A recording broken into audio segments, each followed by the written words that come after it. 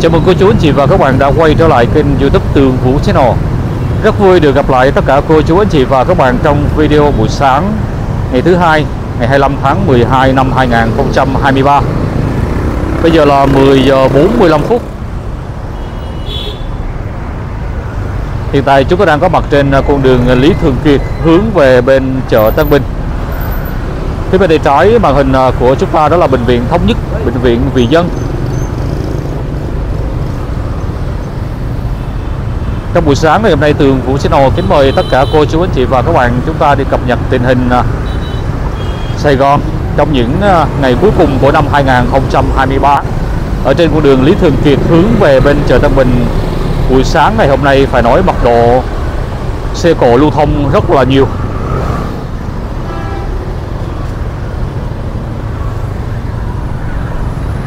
Những tháng à, cuối của năm 2023 cũng như là chúng ta chuẩn bị đón ờ, Tết cổ truyền năm 2024 thì ờ, tình hình đường phố sẽ rất là nhộn nhịp.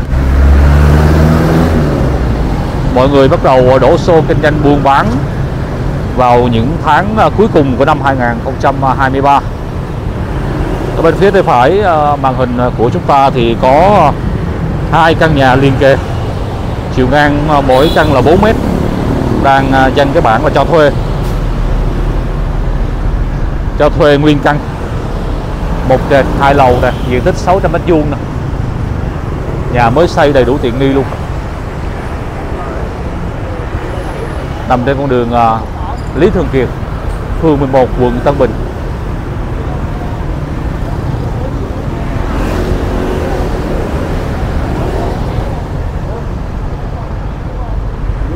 Tình hình à, Sài Gòn của chúng ta cuối năm thì à, có lẽ là buôn bán sẽ sôi động hơn sẽ nhộn nhịp hơn. Hy vọng là như thế.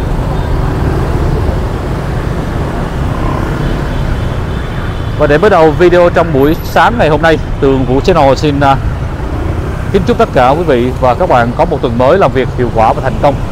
À, kính chúc cô chú anh chị và các bạn đón một mùa Giáng sinh an lành và hạnh phúc. Trên con đường Lý Thường Kiệt này thì bán rất là nhiều dụng cụ về ống nước nè, bồn nước nè, các cái đồ inox, các mặt hàng gia dụng về inox. Đây cũng có một mặt bằng à, đóng cửa dán các bạn cho thuê nhà.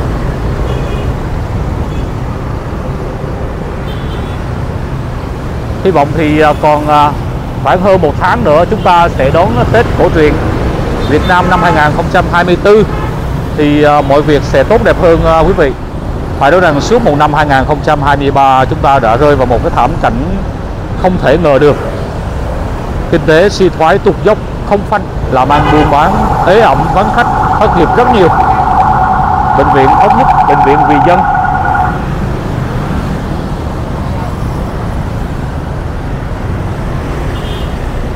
Hy vọng từ nay đến Tết cổ truyền Việt Nam năm 2024 thì tất cả mọi thứ à, sẽ diễn ra một cách tốt đẹp hơn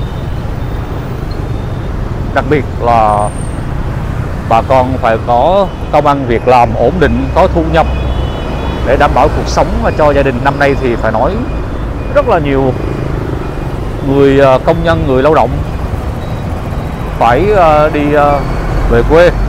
Đó, mặt bằng cho thuê nè. Cho thuê mặt bằng.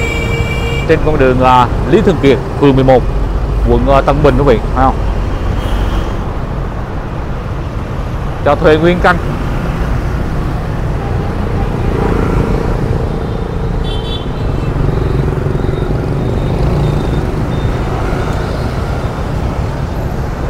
Theo hướng à, màn hình à, của chúng ta là đi về bên đường à, Lý Thường Kiệt. Đường Nguyễn Văn Thoại năm xưa. Đi về bên chợ Tân Bình, về bên nhà thi đấu Phú Thọ, trường đua Phú Thọ năm xưa. Còn ngày hôm nay thì tường Vũ Channel sẽ mời quý vị và các bạn chúng ta đi trên con đường Lạc Long Quân này.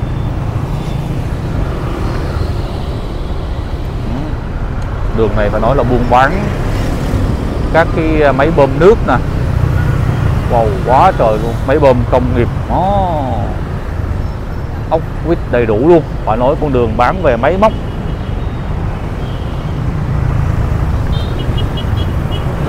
Cho thuê nhà nguyên căn.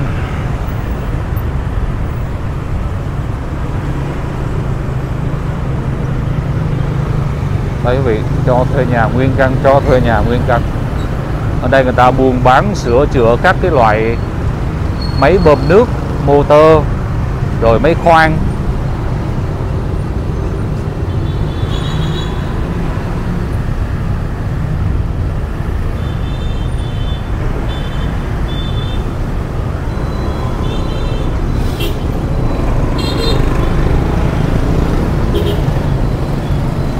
nên chúng ta đi à, lang thang trên à, con đường à.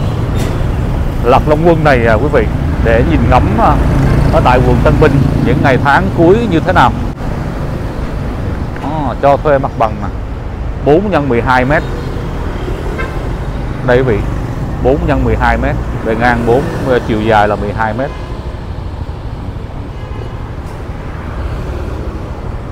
Bốn nhân 12 mét.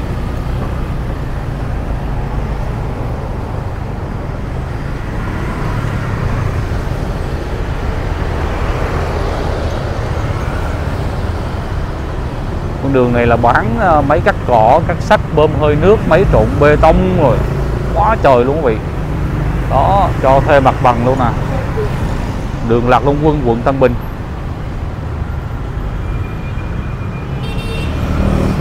Bên đây cũng một mặt bằng cho thuê luôn quý vị. Trời ơi. Đây.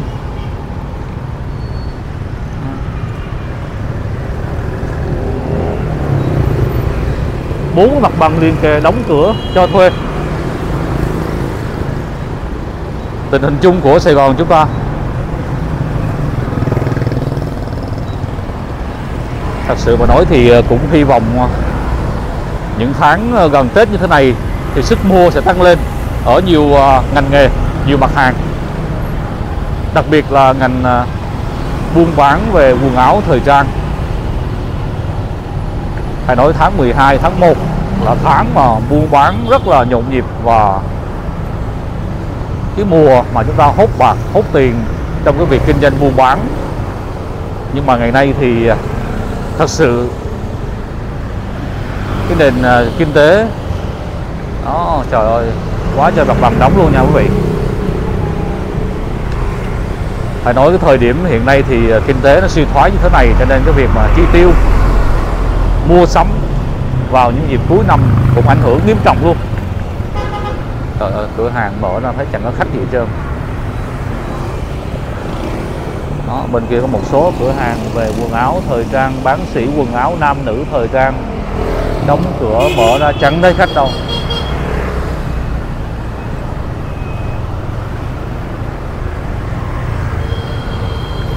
Khu vực này là xung quanh gần chợ Tân Bình. Chợ sĩ quần áo thời trang lớn nhất ở tại Sài Gòn của chúng ta đúng ra những tháng này thì phải nói là sức mua về quần áo thời trang rất là lớn luôn quý vị. Đó, cửa mở chẳng thấy khách đâu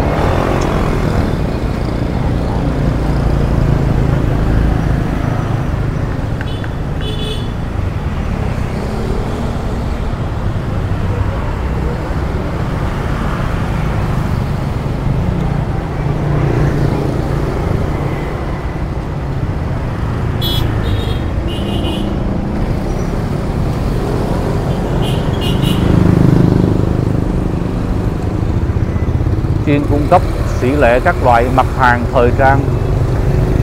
Giá cực rẻ.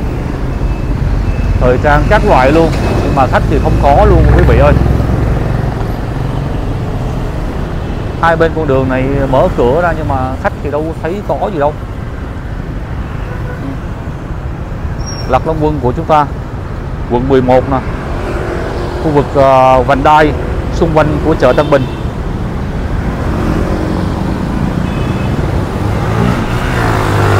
Này thì ăn Tết thì đổi nó bằng Tết tiền đâu bằng Tết đây? À, hai ba cửa hàng quần áo thời trang bên tay phải bên tay trái luôn. À, quá trễ luôn vị ơi. Quần áo jean thời trang quần áo đồ bộ may sẵn cung cấp sỉ lẻ các mặt hàng vải thun đặt theo yêu cầu đó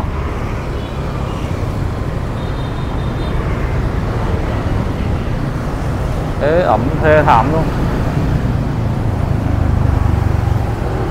Rồi, rồi.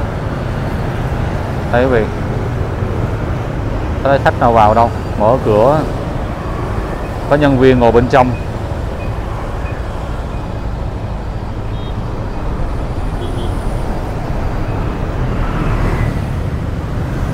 Quần áo thời trang giá rẻ 4 50 ngàn.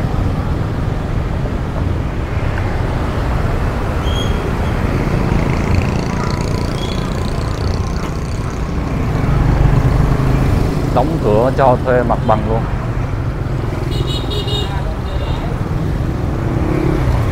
Chuyên sĩ lễ quần áo người lớn và trẻ em.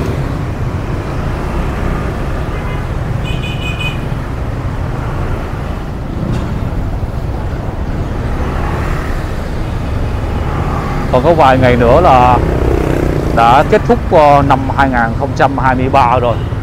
Bước sang ờ, năm 2024 rồi. Tết tới nơi rồi.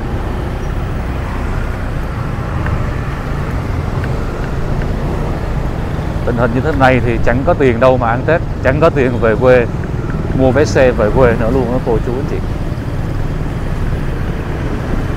Để ẩm quá.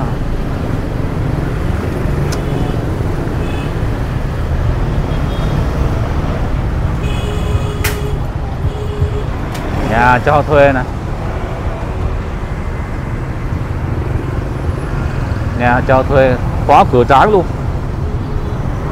Đây, hai ba căn luôn. Hai ba căn luôn à, quý vị.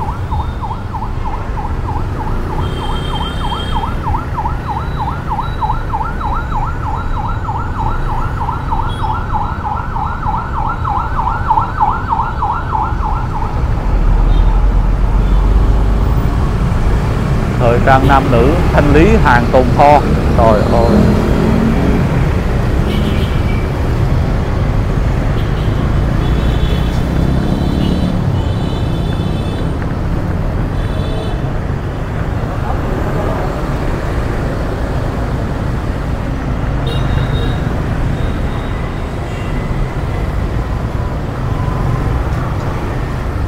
Vài ngày nữa thôi chúng ta sẽ bắt đầu à, đón năm mới 2024 rồi.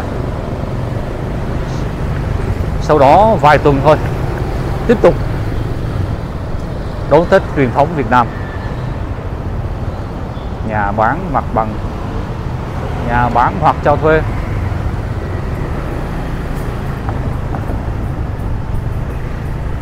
Này mà ăn Tết thì nổi nó tiền đâu mà ăn Tết, buôn bán ế như thế này. Đây là những hình ảnh được ờ, ghi hình trực tiếp. Bây giờ là gần 11 giờ, ngày đầu tuần thứ hai, ngày 25 tháng 12 năm 2023 quý vị.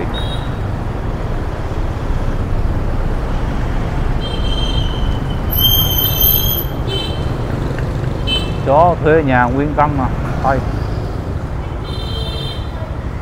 quý vị thấy không? Cho thuê nhà nguyên căn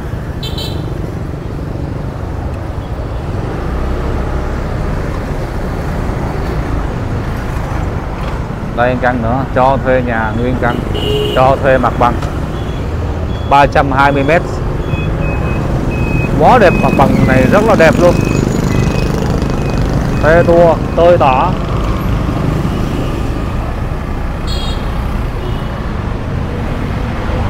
phải nói ờ, con đường ờ, Lạc Long Quân này lưu lượng xe cộ, lưu thông ờ, dày đặc luôn đó. Xe máy, xe hai bánh rất là nhộn nhịp trên tuyến đường này. Hướng về bên đầm sen.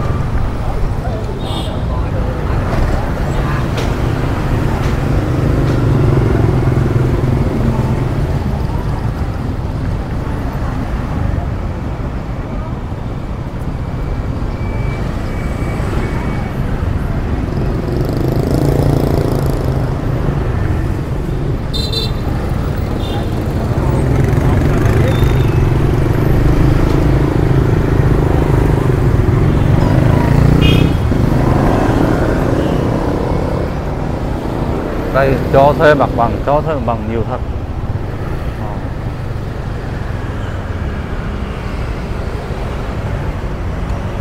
Nguyên một căn nhà to đùng. Nguyên một căn nhà to đùng bên đây ờ, quý vị ơi. Đây. Cho thuê nguyên căn luôn.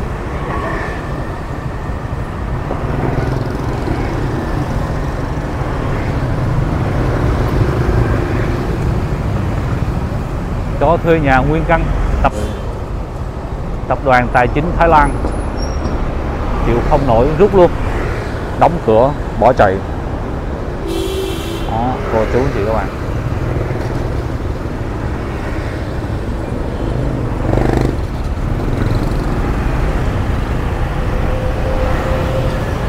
Cầm đồ, trời ơi cầm đồ cào vẹt 1 triệu đến 3 triệu ô tô, xe máy trả góp. Trời ơi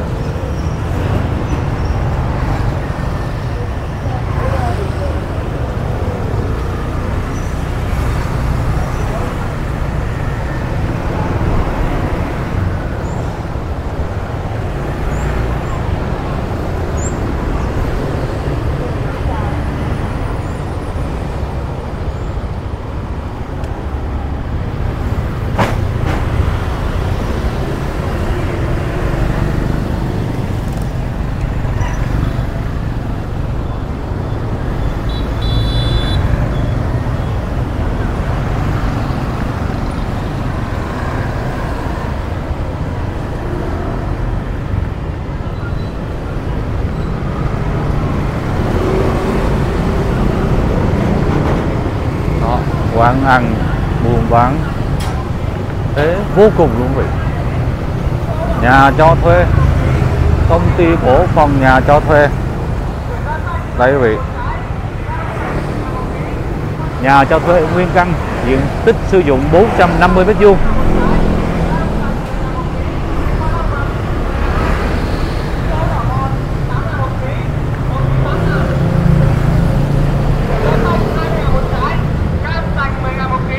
Đó vừa hấu tết nè. 8 ngàn một ký 1 ký 8 ngàn. 8 ngàn một ký một ký 8 ngàn.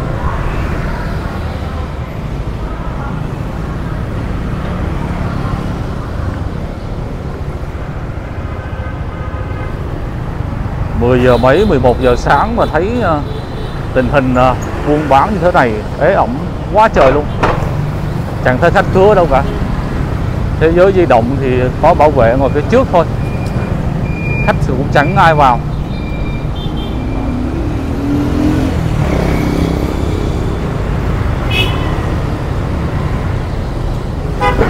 Tết năm nay lo lắng nhất là bà con ở các tỉnh miền Tây và miền miền Trung nếu mà mua hoa, mua bông Tết vào Sài Gòn bán thì chắc hẳn là rủi ro cao lắm. Cho nên năm nay các tiểu thương kinh doanh hoa người ta phải tính toán làm sao vừa thôi, chứ không là lỗ rồi bán không hết. Để bỏ phí đi. Sức mua năm nay chắc chắn sẽ giảm rồi. Năm nay bà con đâu có nhiều tiền để mà mua bông, mua hoa trưng Tết như mọi năm đâu à quý vị. Năm ngoái cũng vậy thôi. Năm ngoái cứ ờ, mang hoa, mang bông lên rất là nhiều, rồi sau đó bán không hết. Rồi lại chặt bỏ đi. Thà chặt bỏ còn hơn là bán rẻ mà mình cũng không hiểu được. Suy nghĩ làm sao? Thà chúng ta bán rẻ một chút xíu để thu được bao nhiêu vốn thì thu. Rồi à, chúng ta đi về đón Tết thôi, chứ bây giờ không bán rẻ mà chặt bỏ thì như vậy nó nó rất là lãng phí. Số chia sẻ của nhiều tiểu thương buôn bán hoa Tết thì người ta bảo, nếu mà bán rẻ như vậy thì tạo thành một cái thói quen. Một cái thói quen của người dân khi mà chờ đến ngày cuối cùng chờ đến trưa ngày 30 Tết thì mới đổ xô đi mua giá rẻ. Đó theo cái suy nghĩ của người bán là vậy. Thì đó cũng là cái lý rất là đúng của người tiểu thương người ta kinh doanh. Nếu mà cứ để ờ, vào ngày 30 bán giá rẻ thì thì thôi rồi. Ờ, cho nên nó, nó có một cái nghịch lý như vậy đó quý vị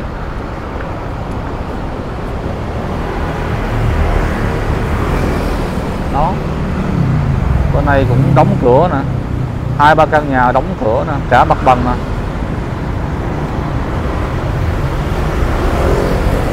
Bên đây cũng vậy, hai ba căn nhà đóng cửa cho thuê cho thuê nè. Đây. Nhà cho thuê, nhà cho thuê. Tìm mãi làm sao ra khách được mà thuê.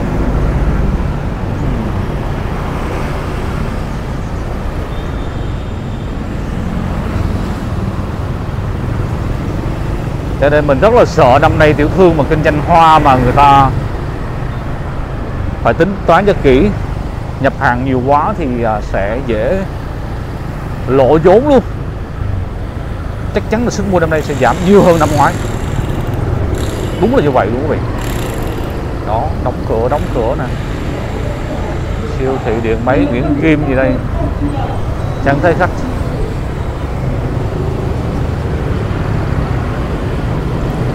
phía trước màn hình à, của chúng ta đó là ngã tư của đường Lạc Long Quân và đường Âu Cơ. Nếu mà rẽ bên tay phải à, là đi về hướng của Tân Bình, Tân Phú nè. Còn nếu mà rẽ tay trái về hướng của quận 11 Lê Đại Hành này quý vị.